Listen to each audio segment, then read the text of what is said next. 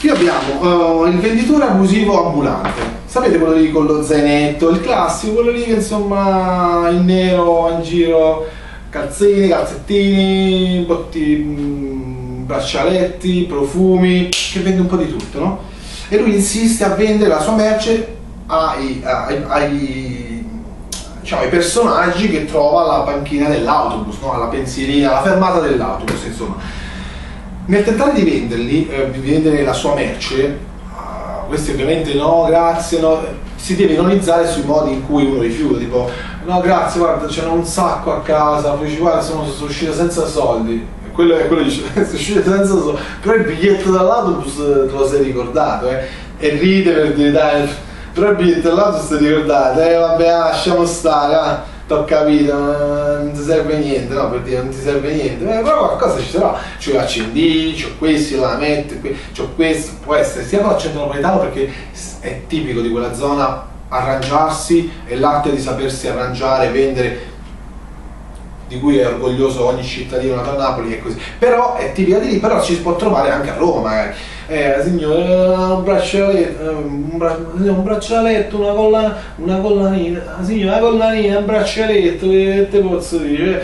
Eh, guarda c'è pure gli accendini, c'ho le mollette, c'ho, c'ho i lasci dei capelli, eh, le cazzette, c'ho pure i pigiami, mi sono arrivati dalla Cina, se no, guarda, se faccio un prezzo eccezionale per dire, lui insiste. Allora praticamente bisogna organizzare sui modi in cui eh, un signore diceva sempre, no per piacere, no, però ho avuto una giornataccia, guarda, te ci mettere anche tu, no? Guardi, ho avuto una giornataccia, gentilmente, per cortesia, eh, io non la disturbo, lei non disturbi me e andiamo d'accordo, ok? Cioè creare anche delle cose che sono ovviamente anche inverosimili e lì appunto potete improvvisare eh, la reazione. Qui ci servirebbero appunto dei signori po' più grandi del ragazzo, cioè se il ragazzo ha 20 anni, questo venditore ambulante, che dà un po' fastidio, infastidisce nel tentativo di vendere i passanti, che stanno lì alla fermata, ecco, gli altri passanti devono essere un po' più grandi, quindi una signora, un quarantenne, un cinquantenne, ho reso l'idea. Eh, ma anche un ragazzo, dire, senti, non c'ho lavoro, sono disoccupato, cioè, no, no, ho giusto i soldi per l'autobus, il caffè, poi non mi serve niente. Analizzare un po', giocare un po' su questa cosa comica e anche sugli aneddoti che lui racconta, no? tipo dice eh, allora, più che aneddoti, perché lui può anche raccontare, tipo dire, non faccio pure lei così, mi è già capitata una, una, una signora, un'anziana, una signora di una certa età, per non essere volgare, non volevo offendere nessuno, che mi ha detto, guarda io ho la pensione sociale, non arriva a fine mese, però alla fine insistito, insistito, gli ho fatto un po' pena e mi ha comprato un calzino, ma non un paio, un calzino spaiato, cioè per dire, no? situazioni di questo genere secondo me possono fare ridere. Quindi pensiamo a, um, a altre situazioni paradossali no? perché ce ne sono. E le inseriamo e le facciamo recitare a questo venditore abusivo ambulante. Secondo ruolo o meglio scusami questi erano l'undicesimo l'undicesimo è quello del venditore ambulante. Il dodicesimo è questo qua che vi annuncio adesso ed è il giovane ragazzo o anche la giovane ragazza, è indifferente, che canta i pezzi e i ritornelli di canzoni famose ogni volta che sente un pezzo, una frase, una parola presente nel testo della canzone in questione. Mentre ovviamente viene enunciata, viene detta da un'altra persona che sta parlando accanto a lei, sempre alla fermata dell'autobus. Quindi faccio un esempio. L'esempio è che per esempio, scusate la ripetizione, eh, c'è una signora che dice, parlando con l'amica, eh, insomma adesso devo andare lì dalla, dal capo, sai che c'è? Quello sente?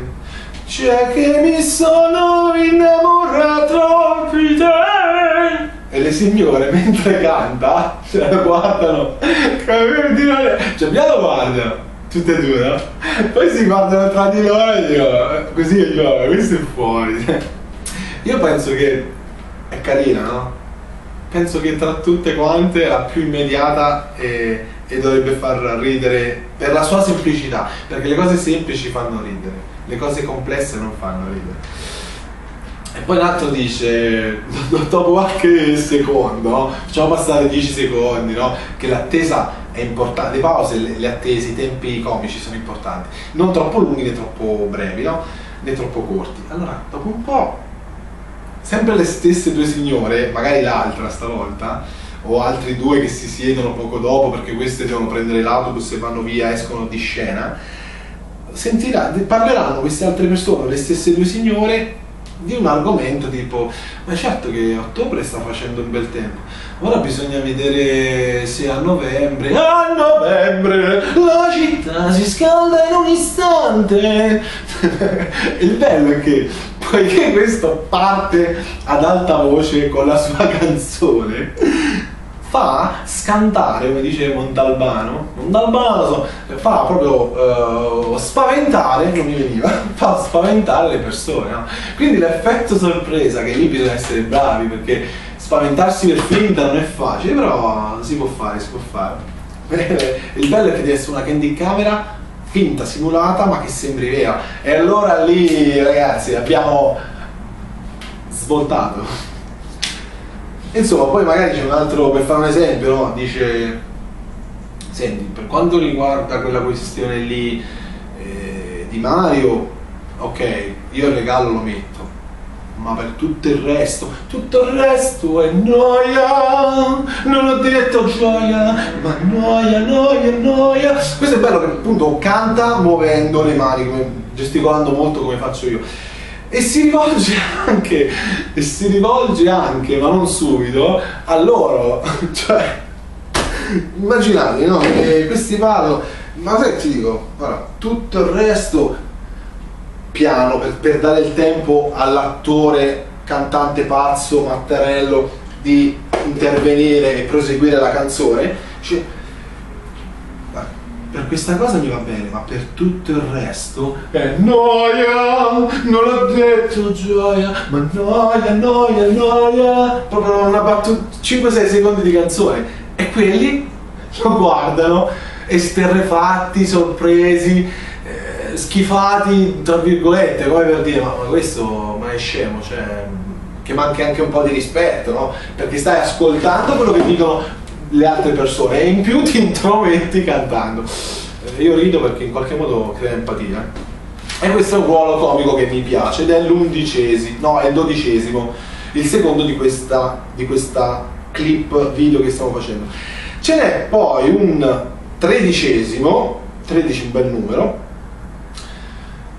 ed è il ruolo che in parte è ispirato a me, è il ragazzo disoccupato, colto, diciamo anche diciamolo, diciamolo anche, colto, un po' saccente, un po' eh, sicuro di sé, ma non troppo, cioè sa, di meri- sa di, che è bravo, ha studiato, in gamba, intelligente, come, come, lo sono tanti altri, però non capisce come mai non riesce a trovare lavoro, in qualche modo ovviamente non sarà mai abbastanza umile da fare alcuni lavori, ma in realtà non è neanche questo il punto, faccio un esempio, io vorrei fare il cameriere, io a casa porto i piatti, lavo i piatti, cioè potrei fare il cameriere, lava piatti, posso prendere ordinazioni, il cabaret, ma però non ho le, le opportunità, l'età. Infatti facciamo questo ruolo, eh, lo facciamo girare, facciamo rappresentare, interpretare da qualcuno che, scusatemi la postura rilasciata e rebosciata, ma è che sto registrando da un po' di tempo, quindi il cervello sta...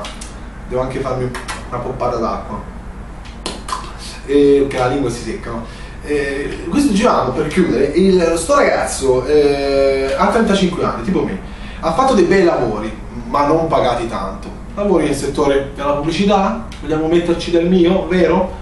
Allora lui dice, ma come cazzo è possibile? Cioè, ma com'è possibile? Che, ma cioè, ho fatto pure, ho fatto questo, ho fatto il grafico, ho fatto il pianificatore, sono andato a coordinare la rete urbana, sono andato a fare la pubblicità ferroviaria, la pubblicità esterna, ho fatto i video, ho fatto anche delle, degli spot che sono andati su, su, su, Lazio, su Lazio TV, Telegolf, ok? Non è la Rai, non è Canale 5, pizzica, ho lavorato per la 7, ho lavorato per la 8, per la 9, per la 10 la 11, no, no, l'ho lavorato davvero, cioè magari si confida, o comunque ehm, si, si, sfoga, ecco, si sfoga con il suo vicino di eh, panchina dell'autobus, della fermata dell'autobus e dice quello che insomma lo sopporta, dice ma se ti capisco, in qualche modo vede che è un po' depresso, è un po' irritato e nervoso e cerca di tranquillizzarlo, quest'altro che sta ascoltando lo sfogo del nostro Davide disoccupato.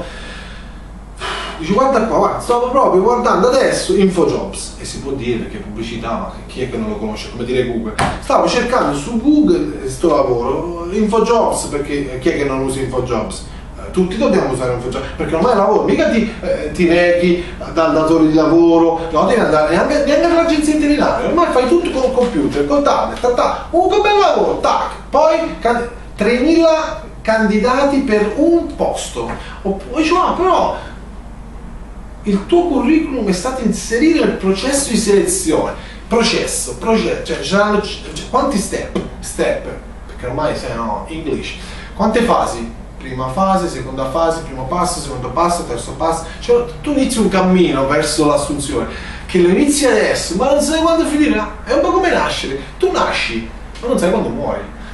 In questo caso si spera di morire il più tardi possibile, però il lavoro è uguale, qua eh, lavorare è un po' come morire, cioè essere assunto è un po' come morire, è una, è una massima di vita. Eh. Cioè non so se è più, è più facile fare l'assicurazione sulla morte o l'assicurazione sul lavoro, cioè su, sull'assunzione.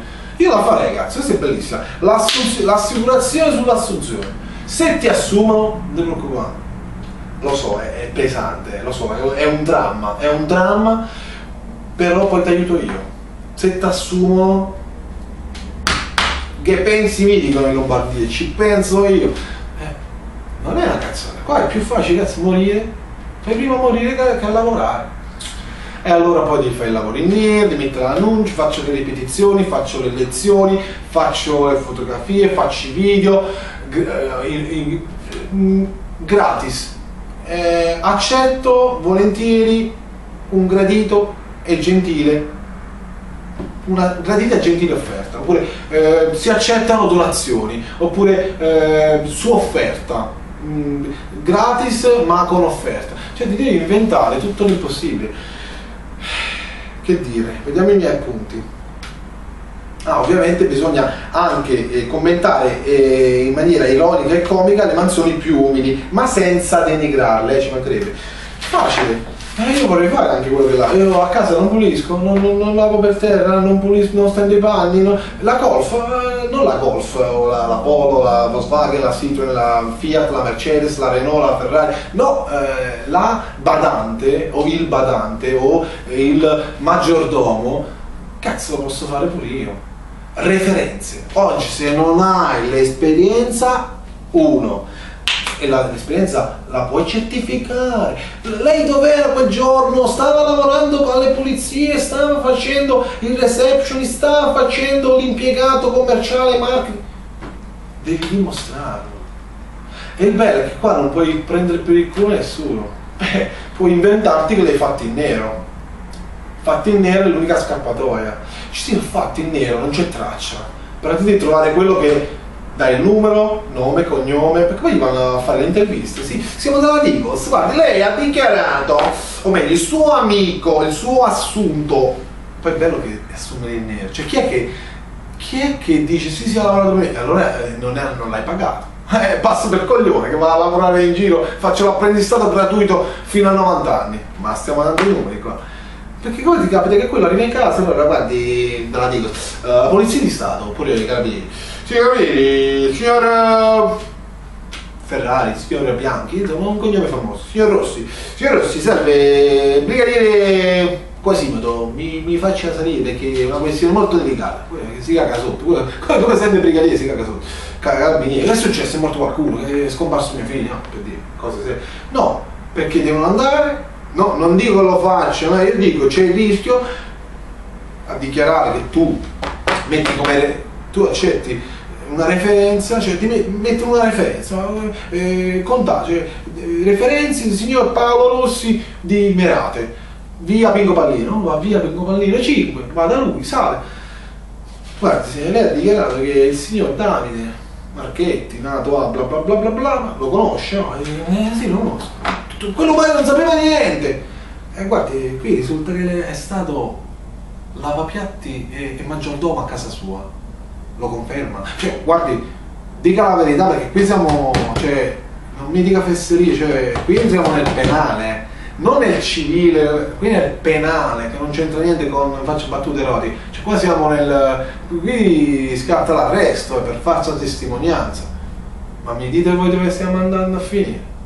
Guarda, io non lo so, so solo che sta arrivando il mio autobus e mi devo salutare, ma non finisce qui, eh, perché come si dice, qui facciamo sul serio, qui non si scherza, eh. qui si fa, si fa per ridere,